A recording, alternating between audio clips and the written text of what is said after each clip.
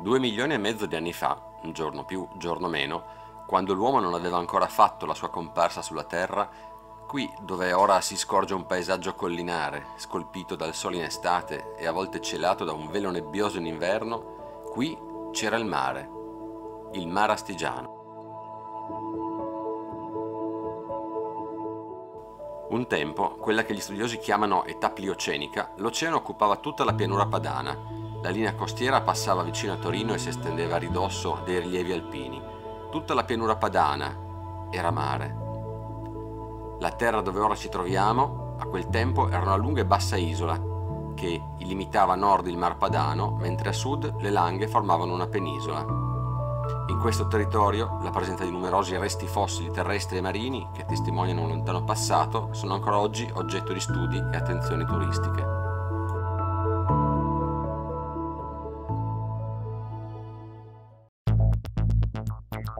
Siamo nel cuore del Piemonte, più precisamente nella zona del Monferrato Astigiano, terra laboriosa e contadina, ricca di storia e cultura, conosciuta nel mondo soprattutto per le sue grandi ricchezze enogastronomiche.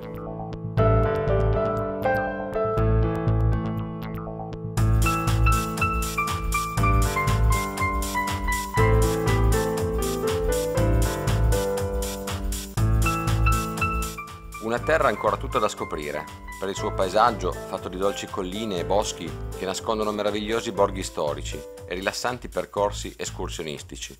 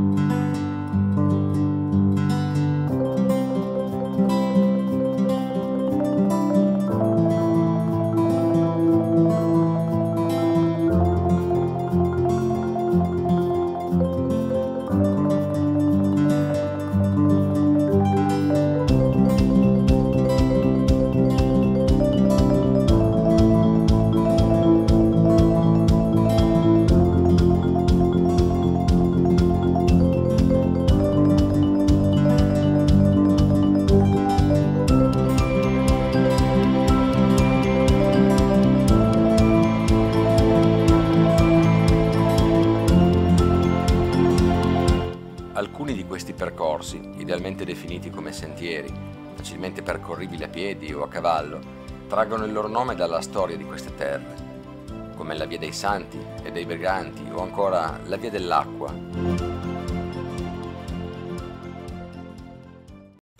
Sul confine del Pianalto, tra i comuni di Villanova, San Paolo Solbrito, Dusino San Michele e Valfenera, è evidente il forte dislivello del terreno che evidenzia l'antica presenza di spiagge e coste marine. Quasi a ricordare ciò che riempiva questi spazi un tempo, la via dell'acqua è un facile percorso che attraversa il territorio del comune di Cantarana. L'elemento caratteristico di questo comune, immerso nella Val Triversa e dominato dall'imponente campanile della chiesa dei Santi Giovanni e Dorotea, è proprio la presenza di numerosi corsi d'acqua e dei campi sorgentiferi, che, benché siano poco visibili perché prevalentemente sotterranei, alimentano gran parte della provincia di Asti e solo in alcuni casi ne scorgiamo la presenza. Il percorso ci consente di incontrare diversi luoghi che testimoniano la forte religiosità dell'area, da numerosi piloni votivi a chiese e luoghi di culto cristiani sapientemente curati, e persino una chiesetta, ora divenuta santuario, come quella di San Pancrazio troviamo forti riferimenti all'acqua anche nel luogo di partenza di un altro sentiero, poco più a sud, che parte idealmente da Cisterna d'Asti e il cui nome rappresenta appunto la capacità di accumulo e distribuzione della preziosa acqua che serviva al territorio. È proprio da questo luogo che parte idealmente un altro sentiero, la Via dei Briganti. Il nome sta a ricordare un periodo storico di brigantaggio, legato ai conflitti nel periodo delle invasioni napoleoniche, che comprende il territorio tra il Roero e l'Alto Monferrato. Il territorio offre una serie di paesaggi di grande fascino, facilmente percorribili anche a piedi o con le due ruote. Qui il panorama è dominato da una natura incontaminata, che si sviluppa con tratti di fitto bosco alternati a dolci curve delle colline e rari nuclei abitati. La partenza di questo itinerario è idealmente fissata dal castello medievale del comune di Cisterne d'Asti, un castello completamente restaurato e visitabile, che è ora sede del Museo Arte e Mestiere di un tempo. Un percorso all'indietro nel tempo, appunto, dove riaffiorano antichi strumenti di lavoro e mestieri del passato.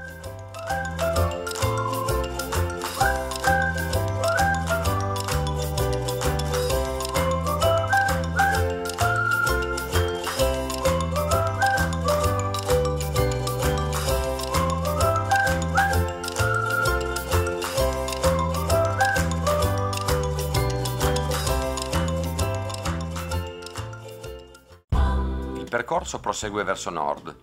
Non è raro incontrare alcuni siti dedicati all'informazione turistica. Alcuni di questi sono delle moderne opere d'arte, come quella presente sulla collina belvedere di Ferrere, che ci invita ad osservare il territorio attraverso scorci geometrici ricercati e a riflettere sul tempo che passa e tutto trasforma. Proseguendo giungiamo a Villa Franca d'Asti, dove merita una visita la chiesa di Santi Eusebio ed Elena, un'opera del Castellamonte risalente alla metà del XVII secolo, i cui costanti restauri ed ammodernamenti fanno risplendere le sue bellezze d'arte gelosamente custodite dalla comunità.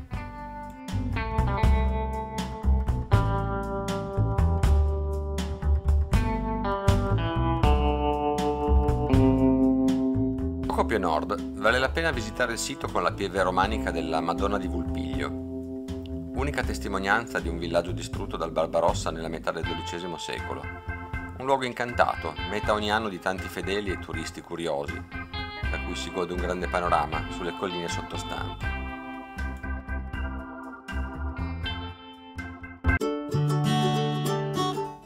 Da qui si ridiscende per arrivare in Val Triversa, con i suoi nuclei rurali e gli insediamenti contadini sui crenali nei territori di Roatto, Maretto, Monale, Cortandone, Valdichieri, fino a Castellero, quest'ultimo conosciuto per la produzione della nocciola, celebrata ogni anno ad ottobre in numerose sagre, questo prezioso frutto dà origine a numerose prelibatezze conosciute in tutto il mondo.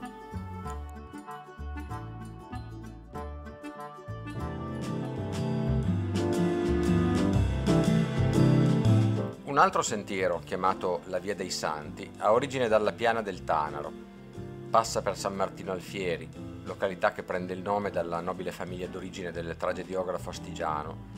Il suo percorso attraversa le colline Alfieri, seguendo i crinali e muovendosi parallela al fiume. Proseguendo raggiunge poi Antignano, dove troviamo il Parco delle Rocche, immerso nelle colline del Barbera, Celle Nomondo e Tigliole, dove incontra la splendida pieve romanica di San Lorenzo. Superando il territorio di Tigliole, tocca in seguito i comuni di Baldichieri e Monale, dove incontra la via dei Briganti e proseguendo attraversa Montafie e Capriglio per arrivare sino al celebre santuario di San Giovanni Bosco a Castelnuovo.